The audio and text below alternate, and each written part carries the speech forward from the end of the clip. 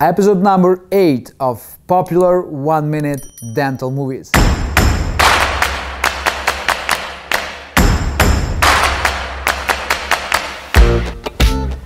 This time during 1 minute dental series, we will discuss with you three planes of preparation for porcelain veneer.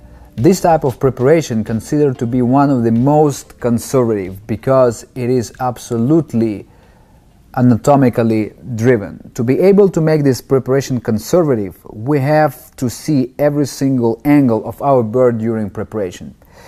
To be able to control, we ask our patient to turn head to the side, to the left or to the right, depends on the tooth that you work with, and it gives us clear vision of the planes and angulations of our burr.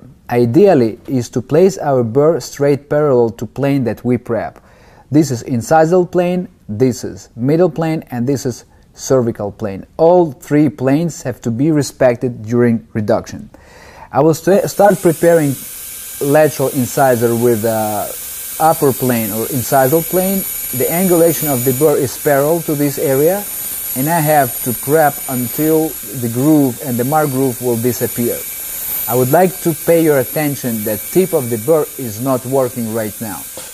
Then I place my burr parallel to middle plane. In this case, pay attention please that tip of the burr is not working as well and the base of the burr also is not touching of, for the tooth surface. We prep middle plane until mark line will disappear and after that we will go into preparation for cervical plane. During preparation of the cervical plane, we have to avoid extreme buccal angle because if we will pay attention to this, if we will concentrate our attention to the finish line, sometimes we have to angulate burr that way and we will get undercut in a really fast way.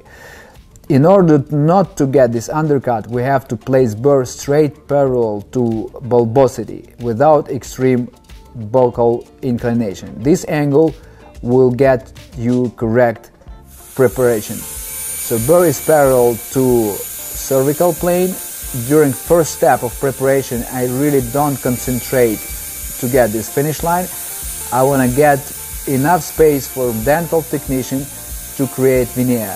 Precise finish line will be prepped during second step of preparation later on.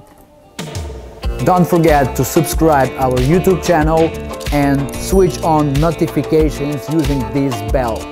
There is a lot of new information coming.